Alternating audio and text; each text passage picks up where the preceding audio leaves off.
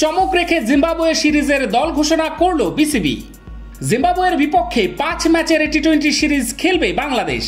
আসন্ন এই সিরিজের প্রথম তিনটি ম্যাচের জন্য দল ঘোষণা করেছে বাংলাদেশ ক্রিকেট বোর্ড বিসিবি। চোটের কারণে লম্বা সময় জাতীয় দলের বাইরে আছেন মোহাম্মদ সাইফুদ্দিন। চোট কাটিয়ে সর্বশেষ বিপিএল দিয়ে খেলায় ফিরেছিলেন তিনি। খেলছেন চলমান ডিপিএলেও।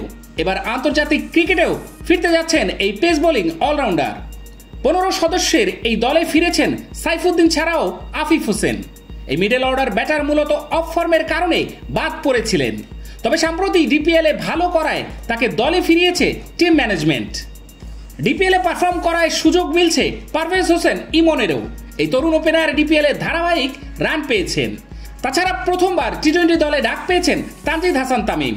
প্রথম তিন ম্যাচের স্কোয়াডে নেই সাকিব আল হাসান ও মোস্তাফিজুর রহমান। সাকিব এখন যুক্তরাষ্ট্রে আছেন। দেশে ফিরে ডিপিএলে এক দুই ম্যাচ খেলবেন তিনি। এরপর এই সিরিজের শেষ দুই ম্যাচ খেলতে পারেন তিনি। আর আইপিএলে ব্যস্ত থাকায় প্রথম তিন ম্যাচে নেই মোস্তাফিজুর রহমান। দোসরা দেশে ফিরবেন এই পেসার। শেষ দুই ম্যাচে ফেরার সম্ভাবনা আছে তারও। পাঁচ ম্যাচ সিরিজের প্রথম তিন ম্যাচ হবে চট্টগ্রামের জহুর আহমেদ চৌধুরী স্টেডিয়ামে।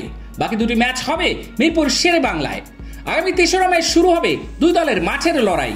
চট্টগ্রামে বাকি দুই ম্যাচ হবে পাঁচ ও সাতই মে। মিরপুরের সিরিজের শেষ দুইটি টি টোয়েন্টি হবে দশ ও বারোই মে। এবারে এক নজরে দেখে নেই জিম্বাবুয়ের বিপক্ষে বাংলাদেশের স্কোয়াড।